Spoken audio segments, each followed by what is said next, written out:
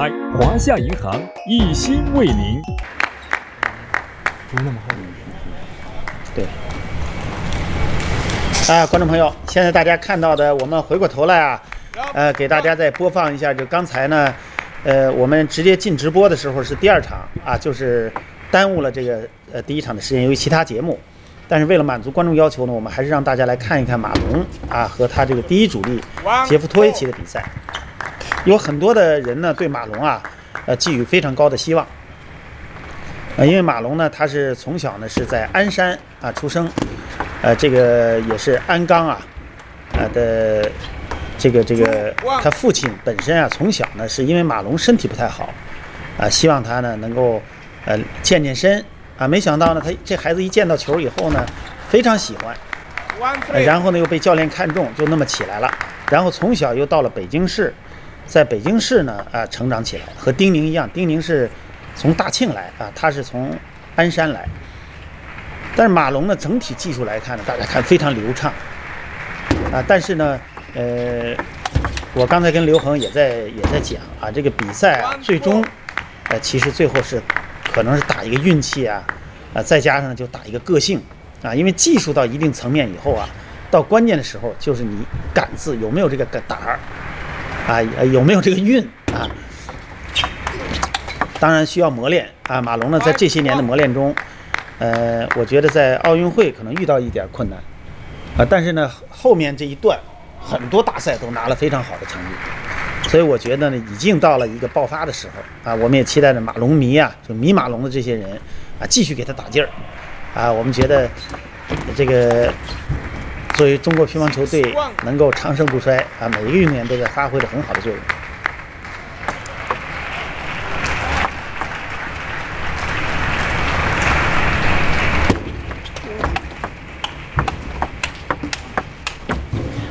One seven。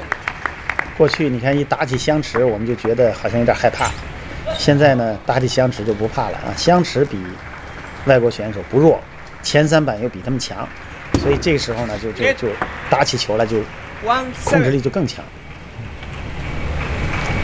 刘鹏，那时候你在队里训练的时候，我记得咱们就好像说要加强相持能力，要提高啊对抗能力。对，这个这个原来这个。现在是蔡振华副局长嘛？原来其实他就说过，以后抢攻上旋球是这个未来这个乒乓球发展方向。其实现在也是一样的，反拉包括上旋的这种对拉，中远台，呃，原来可能在近台，现在中远台这正反手这种反拉都已经感觉很正常了。嗯，啊，所以说现在咱们中国队的相持能力，无论是像刚才说的相持能力，还是前三板，现在都处于一定的优势。嗯，啊，包括我们在集训。封闭训练时候做这种技术统计的时候，看这个我们的运动员和波尔这个技术这种科研统计，我们的相持是胜率非常高的。嗯，你看了吗？这是发球环节过不了关啊！他连着吃了马龙两个发球。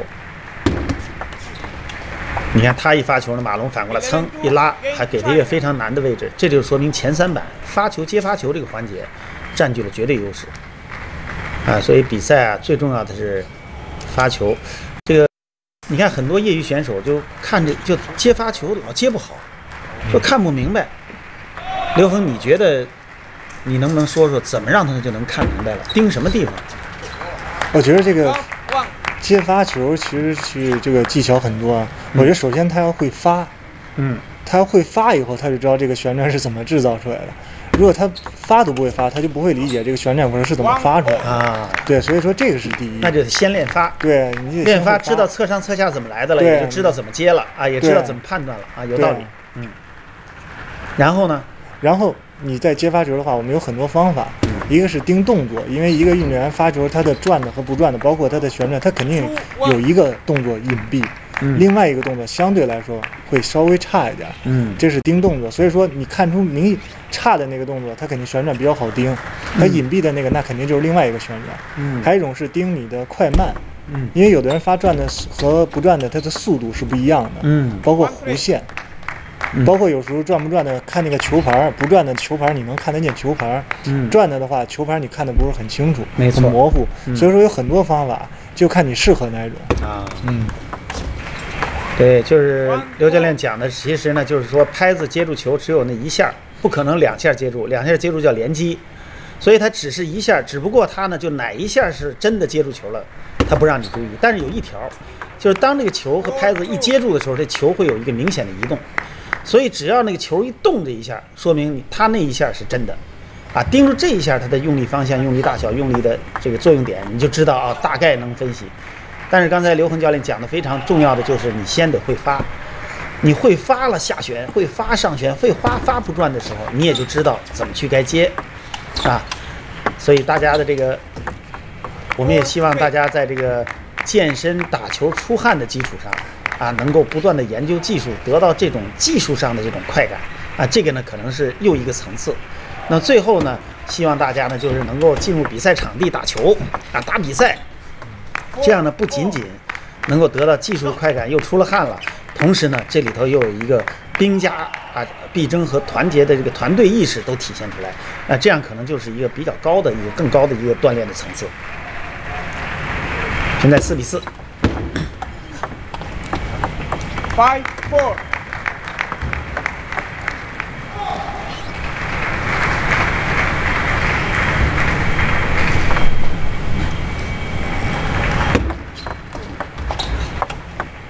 啊，大家看到马龙的这个技术啊，它非常流畅，啊，正手反手衔接，短的和长的衔接，包括身体素质，啊，他这个力量、速度、柔韧性，包括步伐，呃，都几乎达到了一个比较平衡的程度啊。但是现在就是说，你说一千道一万，最后你得拿冠军，是吧？这个时候就是在比赛中就比较复杂了，啊，在关键时刻怎么样？啊，你正好在那个比赛那个时候，你的状态如何？每个人都有好的状态，有的人能赶上那关键点儿，就那两天状态非常好；有的人就赶不上。你说这个怎么说，是吧？Seven five。啊，现在七比五。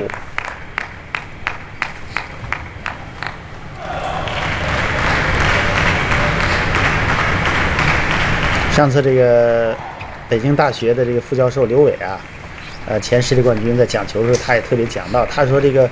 用中医的这个中国的这个传统的这种思想去理解乒乓球，啊，这样的话呢，呃，也是非常重要的。我觉得这也是很好的一个思考方向。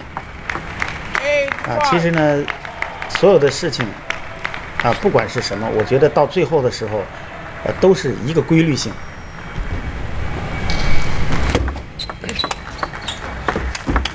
漂亮。Five nine。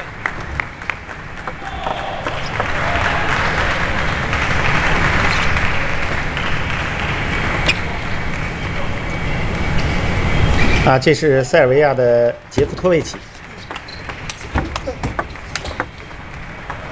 Five ten。现在由于中国选手到欧洲啊，呃，出去打比赛，应该说对世界乒乓球运动也有很好的促进。啊，比如在欧锦赛的时候，呃，这个呃有一个咱们过去国家队谭瑞武，啊，你看包括奥地利的陈卫星，啊是呼和浩特人啊。像这些呢，都是到国外去打球，呃，而且取得了很好的成绩。其实，在这某种意义上来讲呢，他也把中国的一些训练方法、训练技术和打法的意识都带出去了。First game, serve to serve, love four.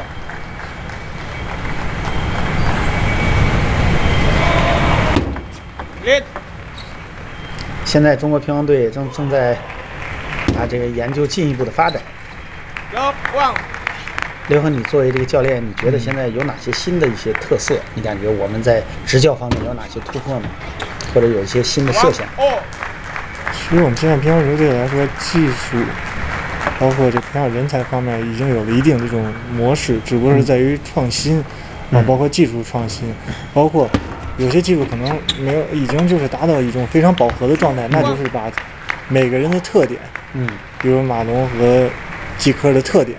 怎么能能够有机的结合到一个人身上？这也是一种创新。当然了，对，所以说现在就是在在技术整合方面，我觉得还是有一定空间的啊。怎么把这些优秀运动员的特点在一个人身上实现？取长补短啊。对，所以说这个是有难度的，但是不是说不可实现的。所以说现在我觉得一个是技术方面技术的创新，一个是技术有有效的把它整合在一起。嗯。所以你像你刚才说这个，其实各行各业现在强调的都是整合，资源整合，对啊，就是把好的东西整合到一块儿，是吧？嗯啊，这个概念就非常好。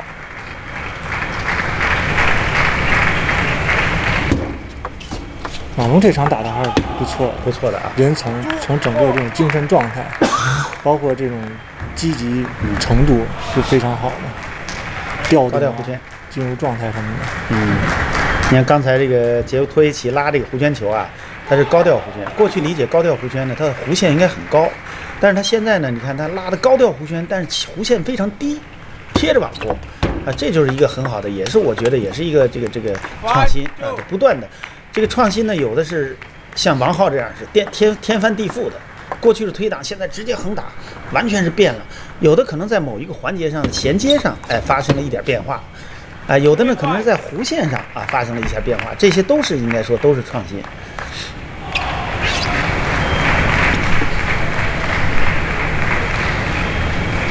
半高抛球，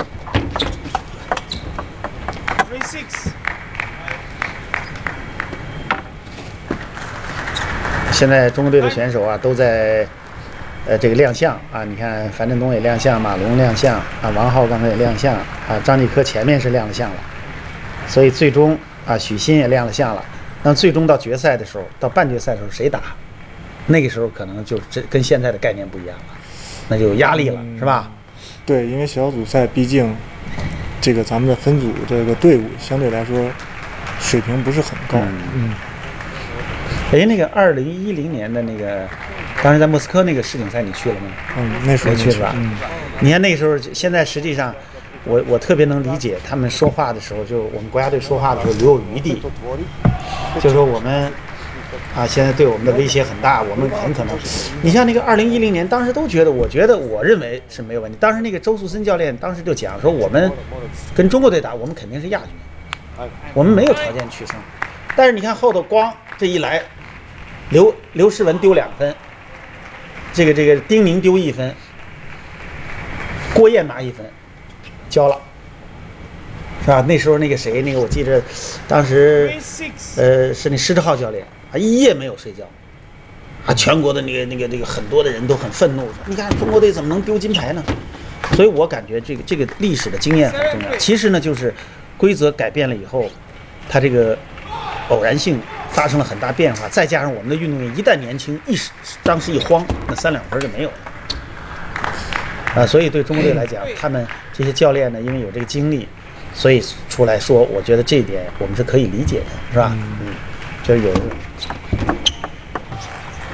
Three, nine.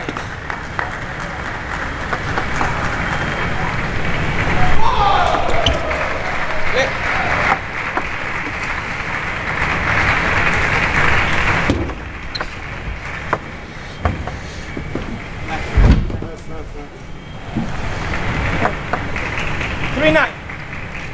现在杰夫托维奇发球，Four, nine. 你看这次裁判的判罚还是比较严格。比较严格。我看好几好几场比赛都是警告这个运动员的发球。嗯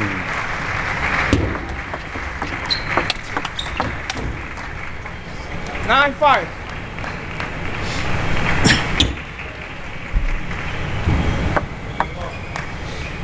啊，我们现在这个比赛还是非常啊关注。啊，刚才那个山西健友俱乐部的这个乒乓球的朋友们都在组织起来来观看这个比赛。啊，我们也希望大家五一期间啊，这些乒乓球爱好者能够多看世锦赛啊，多给中国队加油。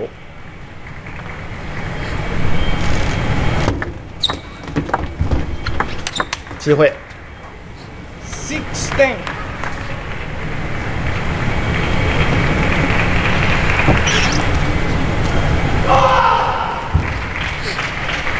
现在中国队呢，在呃男女的这些选手们都已经分别亮相了啊。分别亮相了。